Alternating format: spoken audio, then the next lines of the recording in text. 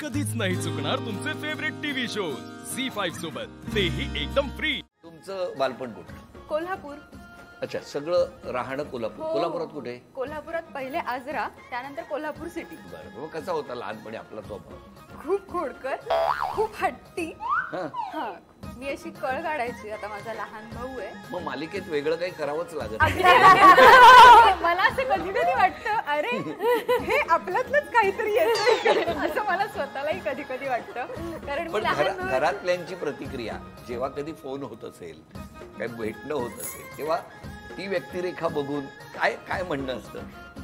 सुरुवातीला तर त्यांचं असं होतं की हसू येत आहे तू जे काही करते आणि लगेच सापडते अहिल्याला त्यावरून हसू येत आहे पण आता त्यांचं असं म्हणणं तू का देतेस त्रास? नको ना देऊ इतका त्रास.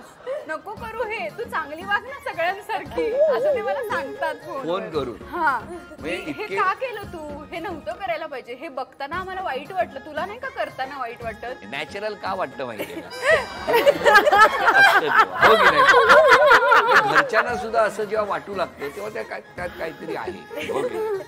तर अशा तुम्ही आहात. माऊली आपलं बालपण? मुंबई. पूर्ण मुंबई- मुंबई. मुंबईत कुठे? मुंबईत सायनला. सायन. घरी कोण कोण? घरी आता आई असते. आजी बाबा आई मी असं छोटूस कुटुंब होतं. भाऊ बहीण कोणी नाही मला. अभिनयाकडेच वळणार हे ठरवलेलं होतं. नाही खरं तर. म्हणजे असं लहानपणापासून काही ठरलं नव्हतं.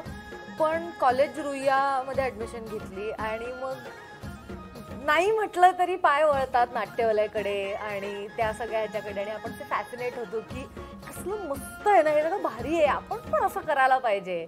आणि मग छोटू छोटू छोटू काहीतरी काम करता करता मित्रमैत्रिणी पण तसेच मिळाले क्रिएटिव्ह आणि मग मिळालं पहिलं नाटक. मग ते विक्रम गोखले आणि दिलीप प्रभाळकरांबरोबरच मिळालं. मग तर अजूनच वाटलं की मग आपण करूच शकतो हे. हे फारच मस्त आहे. पण आता आता ही जी व्यक्तिरेखा आहे अहिल्या देवींची ही. साकारत असताना तसाच स्वभाव आहे मूळ? फिफ्टी फिफ्टी असं मी म्हणू शकते. तेवढी स्ट्रिक्ट मी नाही आहे किंवा असं सत्यात बोललं पाहिजे वगैरे असं माझं नसतं पण थोडं शिस्त लागते मला. पण असं गंभीर राहणं वगैरे असं कसं कसं. जमवलं ते?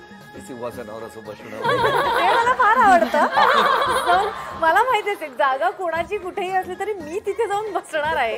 पण मग तुमच्या वर्षभराचे एकदम नाही काढू आपलं विचारतो म्हणजे तेवढं फास्ट होईल ना? पण एका जागी बसून काम करायला आवडतं. निवांत बसलेली असते मी. सगळ्यांना ओरडायचं असतं. सतत. त्याच्यामुळे मला फार मज्जा येते हे करायला. की कुणीही चुकलं असेल मी ओरडा ओरडा देणार आहे ते ओरडा खाणार आहेत. आपलं बालपण? कोकणातली. कणकवली तरळे. तरळे गाव आहे माझं. मुख्य तरळा हेच गाव. तरळा गाव किती मस्त आहे ना? रत्नागिरीच्या नंतर असं हायवेवर असलेलं गाव आहे ते. घरी कोण कोण आहे तिकडे? घरी मम्मी पप्पा भाऊ. बहिणीचं लग्न झालं ती मुंबई. तुमचा स्वभाव कसा होता? शांत. जास्त पहिल्यापासून. साधारणतः आपला बालपणीचा स्वभाव आणि आताच व्यक्तिरेखा आताची. काय कसं काय किती साधर तेव्हा पण मी खूप शांत होते समजूतदार होते जास्त. नंतर नंतर थोडीशी कॉलेजला थोडं खोडकर वगैरे होते पण मग नंतर यांच्या सानिध्यात आल्यावर अजून वाढला अजून? खोडकरपणा? अं, नाही. परत शांत झाले. झी फाईव्ह ॲप डाउनलोड करा आणि पहा सर्व एपिसोड्स एकदम फ्री